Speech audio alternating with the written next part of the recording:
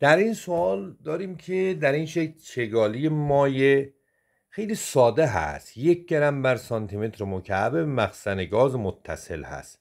درسته؟ ارتفاع مایع در شاخه آزاد 15 سانتی متر درسته؟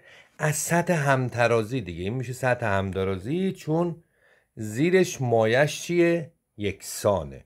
یعنی H مساوی با 15 سانتی متر می‌شود چقدر 15 صدم متر؟ همه رو باید ببرم یکای SI چگالی رو مساوی است با یک گرم بر سانتی متر مکعب؟ این بار در حل سوالات تکرار کردم. می شود چی؟ مساوی است با هزار کیلوگرم بر متر مکعب. درسته؟ خب حالا پی صفر چقدر هست؟ پی صفر هم که یک اتمسفره. یک اتمسفر می شود ده به توان پنج پاسکال. درسته؟ جی هم ده نیوتون بر کیلوگرم هست. من باید الان چی را حساب کنم؟ من می‌دونم که در این نقطه فشار با این برابره. وقتی که فشار مخزن گاز بخوام حساب کنم. یعنی پی مساوی است با پی صفر.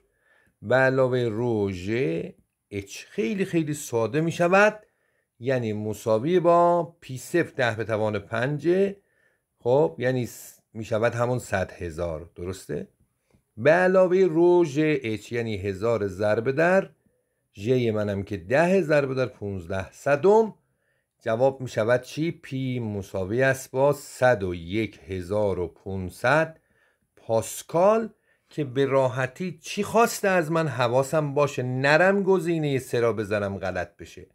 در خواندن سوال تاکید می‌کنم که به آخرش مخصوصا در فیزیک در شیمی باید دقت کرد که یک های اون اندازه گیریت یا محاسبه که می‌خوای به دست بیاری چی هست. تقسیم برش هزار کنم میشه و 101 و نیم کیلو پاسکال یا ضربه در ده به توان منهای سه کنم به کیلو پاسکال. تبدیل می شود که گزینه دو جواب صحیح ما خواهد بود.